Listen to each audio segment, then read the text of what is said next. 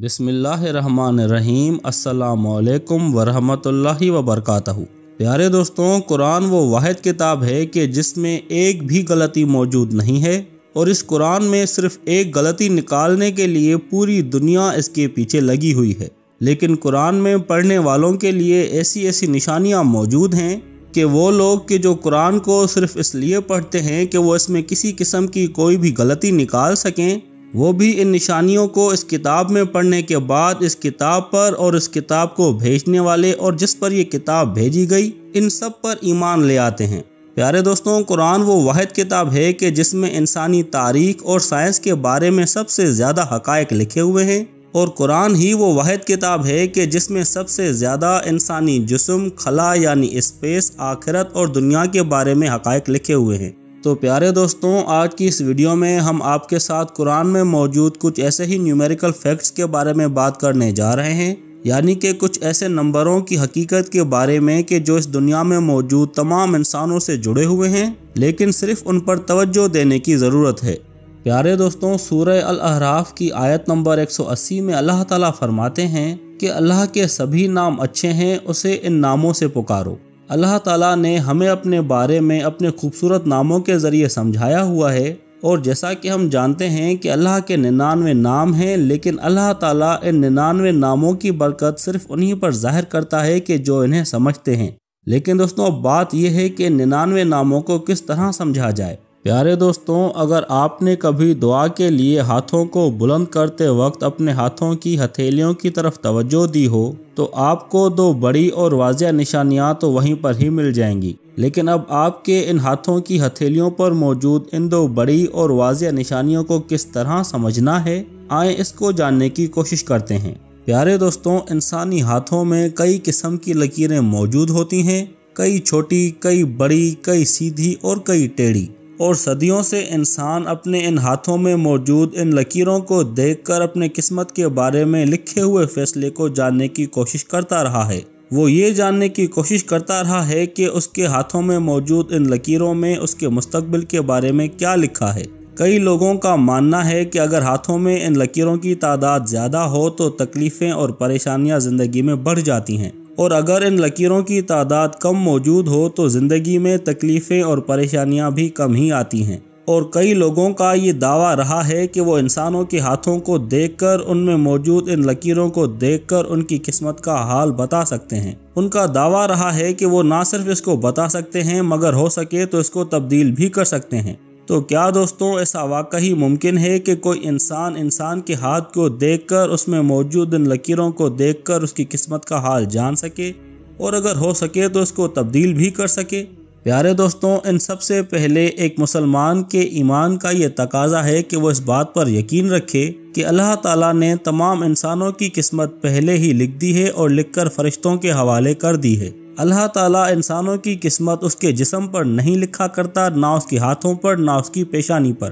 तो इसलिए अपने हाथों की लकीरों में मौजूद या फिर अपनी पेशानी में मौजूद लकीरों के ज़रिए अपनी किस्मत का हाल मालूम करना और इस पर एतमाद करना सख्त नापसंदीदा अमल है और एक बहुत बड़ा गुनाह है और शरीयत में भी इसके बारे में मना किया गया है। प्यारे दोस्तों, इसी तरह तिब्बी और साइंसी लिहाज से भी इंसानी हाथों में मौजूद इन लकीरों का इंसान की तकदीर से कोई ताल्लुक नहीं है, जैसे अल्लाह ताला ने तमाम इंसानों की दीगर चीज़ें, यानी कि उनका चेहरा, उनकी चाल ढाल, उनकी आवाज़, उनकी आँखें एक दूसरे से मुनफरद और अलग बनाई हैं, ताकि हर इंसान की एक अलग पहचान बन सके। वैसे ही अल्लाह ताला ने हाथों की हथेलियों में मौजूद इन वाजिया लकीरों को और हाथों की उंगलियों में मौजूद इन बारीक लकीरों को हर इंसान के लिए एक दूसरे से मुनफरद और अलग बनाया है ताकि इनसे उनकी अलग अलग पहचान हो सके।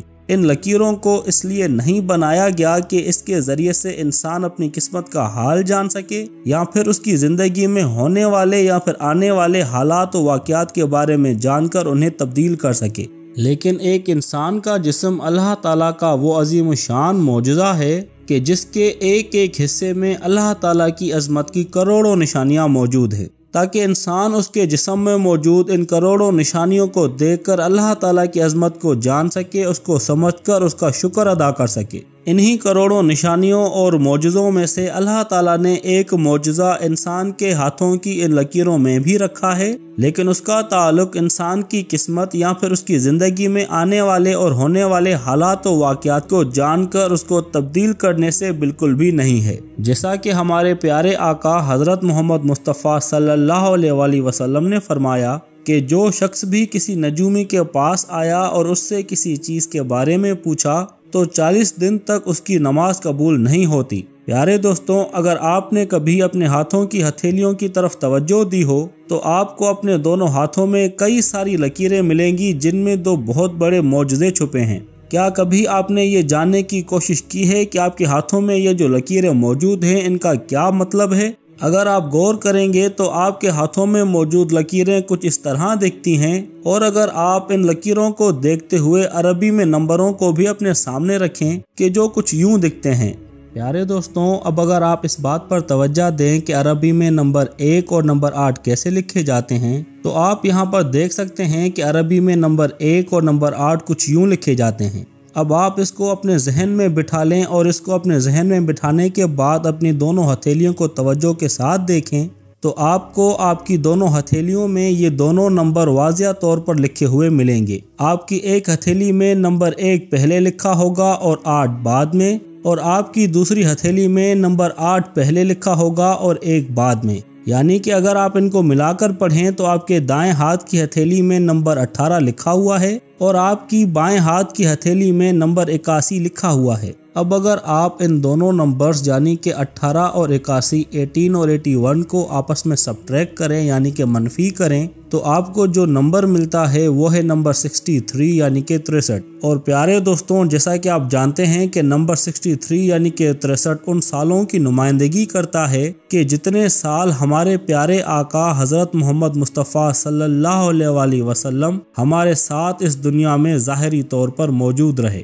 प्यारे दोस्तों, हम जब भी दुआ के लिए हाथ बुलंद करते हैं तो सबसे पहले अपने प्यारे आका हज़रत मोहम्मद मुस्तफ़ा सल्लल्लाहु अलैहि वसल्लम पर दरूद सलाम भेजते हैं और उसके बाद अपनी दुआ की इब्तदा करते हैं। और प्यारे दोस्तों, इन दोनों हाथों में मौजूद इन नंबर्स का मतलब भी यही है कि हम दुआ मांगते वक्त अपने प्यारे आका हज़रत मोहम्मद मुस्तफ़ा सल्लल्लाहु अलैहि वसल्लम को याद रखें और उन पर दरूद सलाम भेजते रहें। और अगर हम इन नंबर्स यानी कि 18 और इक्यासी को आपस में ऐड करें, यानी कि जमा करें तो हमें जो नंबर मिलता है, वो मिलता है 99 यानी कि निन्यानवे। और जैसा कि हमारे प्यारे आका हज़रत मोहम्मद मुस्तफ़ा सल्लल्लाहु अलैहि वसल्लम ने फरमाया कि अल्लाह ताला के निन्यानवे नाम हैं और जिसने भी इन्हें महफूज किया यानी कि याद किया, वो जन्नत में दाखिल होगा। प्यारे दोस्तों, अगर आप अल्लाह ताला के नामों की तादाद यानी कि निन्यानवे नंबर में मौजूद नंबरों यानी कि नौ और नौ को आपस में ज़रब दें तो ये नंबर बन जाता है नंबर इक्यासी, जो कि आपके बाएँ हाथ की हथेली पर मौजूद है। और अगर आप हमारे प्यारे आका हज़रत मोहम्मद मुस्तफ़ा सल्लल्लाहु अलैहि वसल्लम की उम्र मुबारक में मौजूद नंबर, यानी कि छः और तीन को आपस में ज़रब दें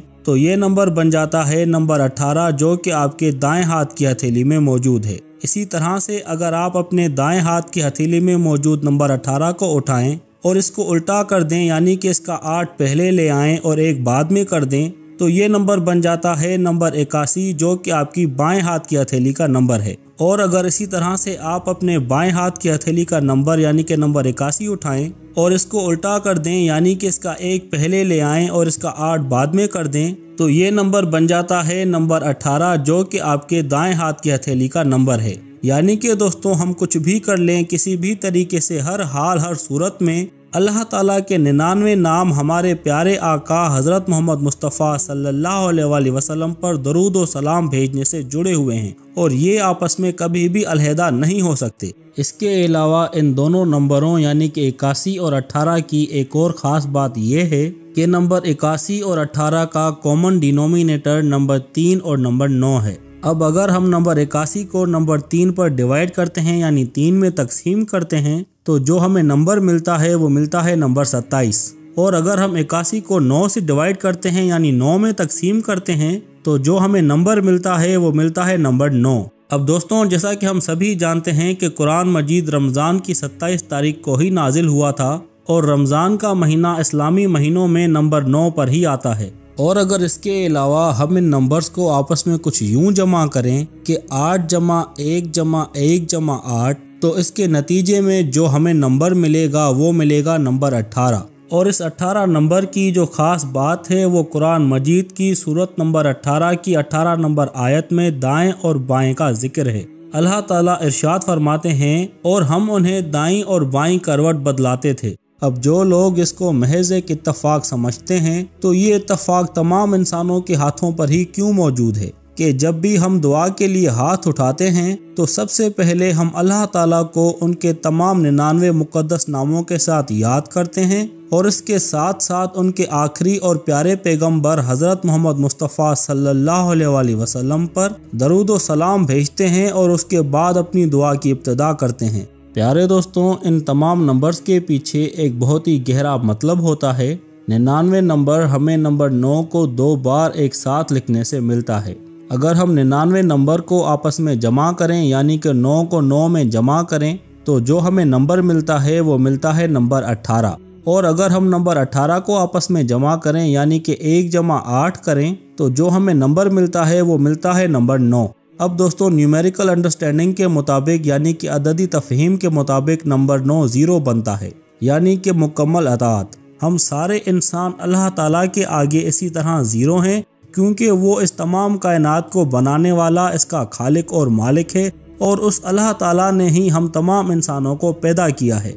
और दोस्तों, इसके अलावा अगर आप अपने दोनों हाथों में मौजूद उंगलियों की तादाद को गिनेंगे तो दोस्तों, उससे जो आपको नंबर मिलेगा, वो मिलेगा नंबर दस, यानी कि एक जमा ज़ीरो, जिसको साइंस की ज़बान में बाइनरी नंबर्स भी कहा जाता है, जिसमें एक सब कुछ होता है और ज़ीरो कुछ भी नहीं होता। अब दोस्तों, अगर आप इस एक को ज़ीरो से प्लस करें, यानी कि जमा करें या फिर माइनस करें, यानी कि मनफी करें, इसका जवाब एक ही रहना है, एक पर ज़ीरो के माइनस या प्लस का कोई फ़र्क नहीं पड़ना।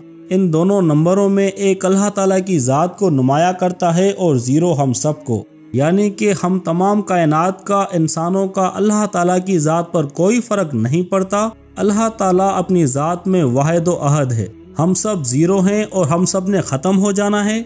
और अल्लाह ताला ही वो वाहिद ज़ात है कि जिसने हमेशा कायम रहना है। अल्लाह ताला जिसे चाहे हक की राह पर चलाए और जिसे चाहे कि हक की राह से भटका दे। अल्लाह ताला जिसे हक की राह पर चलाए, उसे कोई और भटका नहीं सकता, लेकिन जिसे अल्लाह भटका दे, उसे कोई भी सीधी राह पर ला नहीं सकता। तो प्यारे दोस्तों, अगर आपको आज की हमारी वीडियो पसंद आई हो तो हमारे इस वीडियो को लाइक करें और शेयर करें। और अगर आप इसी किस्म की मज़ीद इस्लामिक वीडियोस को देखना पसंद करते हैं तो हमारे इस चैनल को सब्सक्राइब कर दें और बेल आइकन पर प्रेस कर दें। ताकि इसी किस्म की मज़ीद इस्लामिक वीडियोस आप तक बहुत ही आसानी के साथ पहुँचती रहें कि जिनको देखकर आपका ईमान ताज़ा होता रहे और आपका अल्लाह ताला पर यकीन और अल्लाह ताला पर ईमान बढ़ता रहे। और आखिर में अल्लाह ताला से दुआ है कि अल्लाह ताला आपको और हमें हक की राह पर लगाए और हमें हक की राह से भटक कर हलाक होने वालों में शामिल होने से बचाए। आमीन।